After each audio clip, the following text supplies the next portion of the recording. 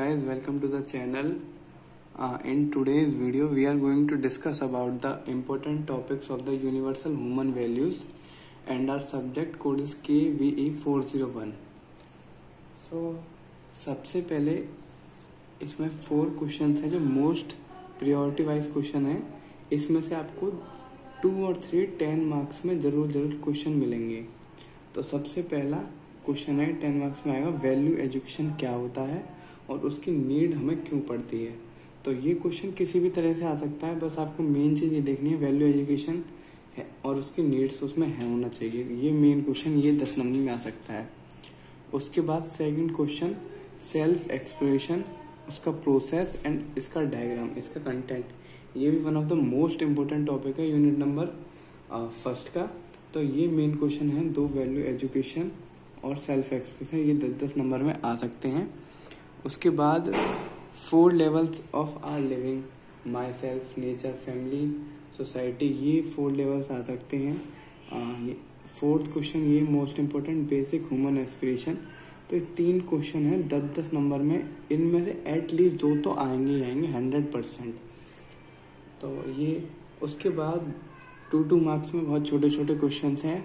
Basically definition है आपको याद करनी है. Uh, इन क्वेश्चंस को आपको क्रैम करने की कोई नीड नहीं है. आपको एकदम याद नहीं करना लेकिन हाँ इसमें बेसिक आपको आना चाहिए. और इनको आप डेफिनेशन है इनको एक बार देख ज़रूर सकते हैं. टू टू मार्क्स में आती हैं हमेशा. वैल्यूज़ क्या होता है? ये इंट्रो पार्ट है. एंड नेचुरल एक्सेप्टेंस क्या होता है? नेचुरल एक्सेप्टेंस बेसिकली मैकेनिज्म होता है सेल्फ एक्सप्लोरेशन का. और सेल्फ एक्सप्लोरेशन एक मेथड होता है. तो ये दोनों इंटरकनेक्टेड है इस ये आता है तो इसमें इसका डायग्राम और इसका प्रोसेस भी बताना है नेचुरल सेक्टर उसके बाद प्रोस्पेरिटी ऑफ़ वेल्थ क्या होता है? बहुत कॉमन टर्म्स हैं। ये, उसके बाद ये तीन एब्रीवेशन हैं, इनको आप देख देख लीजिएगा। उसके बाद लव और हैप्पीनेस क्या होता है? और लास्ट टॉपिक बिलीफ और अंडरस्टैंडिंग में क्या डिफरेंस है? ये टू टू मार्क्स के क्वेश्चन है, इन्हें आप सेकंड प्रायोरिटी पर रखना बट फ़र्स्ट ऑफ़ ऑल आपको वैल्यू एजुकेशन और सेल्फ एक्सप्रेशन ये दोनों करने हैं, उसके बाद ये दोनों फिर आपको टू मार्क्स के क्वेश्चन करने हैं। Let's move to the unit number two unit number two में सबसे पहला आपका इम्पोर्टेंट क्वेश्चन जो hundred and one percent ten marks में आएगा, वो है coexistence of the I self and body and its activities इसमें दो क्वेश्चन भी बन सकते हैं। सेल्फ और बॉडी के बीच में डिफरेंस उनकी नीड्स उनकी एक्टिविटीज़ तो मतलब ये आपको सेल्फ एंड बॉडीज का मेन इंपॉर्टेंट क्वेश्चन करना ही करना है टेन मार्क्स में हमेशा ही आता है। उसके बाद सेकंड टॉपिक है I I is the seer doer and enjoyer explain ये ये भी आ सकता है। उसके बाद थर्ड टॉपिक है आपका harmony harmony individuals body self कैसे भी आ सकता है। तो हारमोनी को आपको डिटेल में करना है। बहुत इंपॉर्टेंट कंसेप्ट है। In point of the human values fourth question है आपका, स्वास्थ्य एंड संयम, हेल्थ एंड पेशेंस, ये चीज़ क्या होती है? तो ये भी देख लेना, ये भी इम्पोर्टेंट क्वेश्चन है और ये ये वाला। ये जो चार क्वेश्चन है, इसमें से आपको दो क्वेश्चन मिल सकते हैं। और ये फ़र्स्ट प्रियोरिटी वाइज क्वेश्चन है तो इनको सबसे पहले करिएगा यूनिट नंबर टू में। उसके बाद टू टू मार्क्स के बहुत छोटे छोटे क्वेश्चन हैं। मटेरियलिज्म क्या होता है प्री कंडीशनरिंग क्या होती है सेल्फ इंस्ट्रो इंस्ट्रोस्पेक्शन क्या होता है सेंसेशन वगैरह। ये सब छोटे छोटे टॉपिक हैं, इन्हें ज़रूर करिएगा। मेन आपके टॉपिक इसमें यही है। Now unit number three unit number three में पहला इम्पोर्टेंट टॉपिक है जस्टिस राइट जस्टिस क्या होता है, उसके एलिमेंट्स क्या होते हैं, ये पढ़ लीजिएगा। और सेकंड टॉपिक ये सबसे ज़्यादा मेन और इम्पोर्टेंट टॉपिक है यूनिट नंबर थ्री में।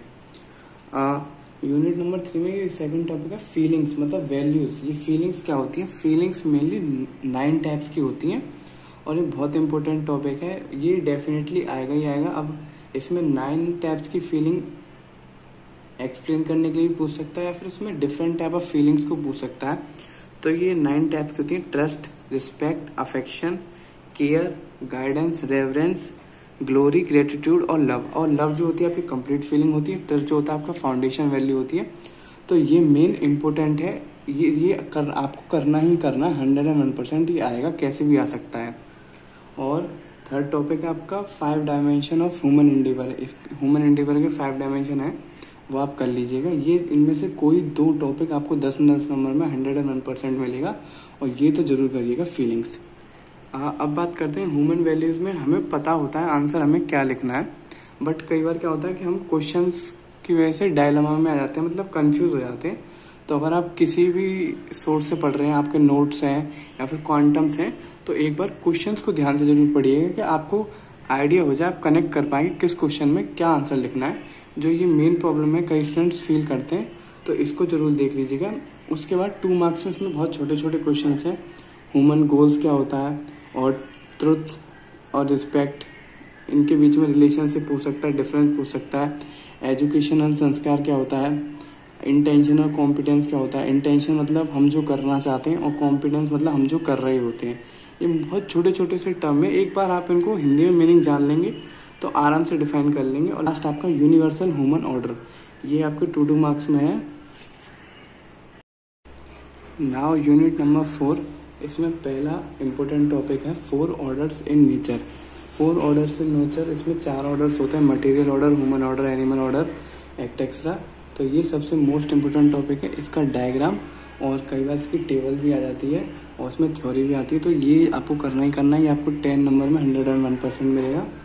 उसके बाद इननेटनेस एक टॉपिक है। स्वत्व मतलब जो एग्जिस्ट करते हैं स्वत्व इननेटनेस तो ये टॉपिक सबसे इम्पोर्टेंट है। नेचुरली जो एग्जिस्ट करते हैं, उन्हें बोलते हैं इननेटनेस और थर्ड टॉपिक है यूनिट स्पेस एंड को क्या होता है? ये ज़रूर आप करिएगा। फोर्थ इसमें इम्पोर्टेंट टॉपिक है होलिस्टिक टेक्नोलॉजीज़ क्या होती हैं? तो ये इसमें four first priority wise topic है। और फ़र्स्ट सबसे इम्पोर्टेंट इसमें ये फोर ऑर्डर्स है। उसके बाद टू मार्क्स में छोटे छोटे क्वेश्चन हैं। गठनशील, गठनपूर्ण, कृतज्ञ पूर्णता क्या होता है? म्यूचुअल फिलफिलमेंट इन नेचर क्या होती है? रिसाइकिलिटी क्या होती है? कन्फॉर्मेंस क्या होता है? ये इसमें दो दो मार्क्स में क्वेश्चन है इम्पोर्टेंट और एक मैं आपको टिप देना चाहूँगा, हारमनी। हारमनी माने होता है पीसफुल को से अस्तित्व। मतलब हारमनी आपको चारों एस्पेक्ट से एकदम रट लेनी है, क्या होती है? नेचर में हारमनी क्या होती है? और फैमिली सोसाइटीज़ में क्या हारमनी होती है? तो ये आपको एक तरफ़ से पढ़ लेना है। इम्पोर्टेंट क्वेश्चन नहीं, लेकिन इम्पोर्टेंट थ्योरेटिकल पार्ट है। और बाकी आपको उसके नोट्स चाहिए क्वांटम चाहिए तो वो मैंने टेलीग्राम चैनल में प्रोवाइड कर दिए लिंक उसका डिस्क्रिप्शन में आप ज्वाइन कर सकते हैं। Now we are going to discuss about the last unit of the universal human values that is unit number five unit number five basically आपकी प्रोफेशनल एथिक्स बेस्ड यूनिट है। मतलब इसमें सबसे पहला टॉपिक आपको एथिकल ह्यूमन कंडक्ट करना है। Uh, दूसरा टॉपिक वर्क और प्रोफेशनल प्लेस जो भी होती है उन पे आपको क्या एथिक्स रखने हैं उसको देखना है। थर्ड टॉपिक है कॉम्पिटेंस ऑफ़ प्रोफेशनल एथिक्स ये करना है।